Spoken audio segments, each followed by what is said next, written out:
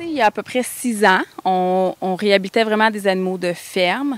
Puis là, de bouche à oreille, les gens ont commencé à nous amener des animaux sauvages. Donc, on a pris le permis parce que c'est illégal de posséder un animal sauvage au Québec, euh, évidemment.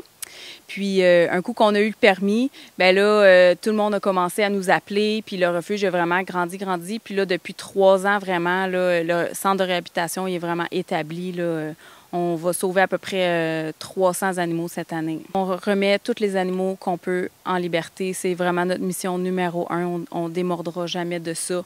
c'est sûr que chaque année, il y a certains animaux qui ont des problématiques, euh, soit euh, des euh, aveugles, perte d'une patte ou peu importe. Donc, eux, on les garde au sanctuaire. Mais encore là, il faut vraiment qu'on les ait eu bébés parce que quand c'est des adultes qui ont connu la liberté, c'est pas agréable pour eux de connaître la captivité par la suite. On n'a pas d'aide financière, le gouvernement nous aide pas. C'est vraiment monsieur, madame, tout le monde, les amoureux des animaux qui nous aident financièrement lors de nos soirées bénéfices, nos campagnes de financement euh, sinon, on a quand même des bénévoles qui viennent nous aider au refuge. Euh, on ramasse des épiceries, des, euh, des, restaurants pour aider à nourrir les animaux. Donc, le refuge est autosuffisant alimentairement. Donc, 160 têtes qui sont nourries presque gratuitement. Ça, c'est vraiment un bon coup de pouce.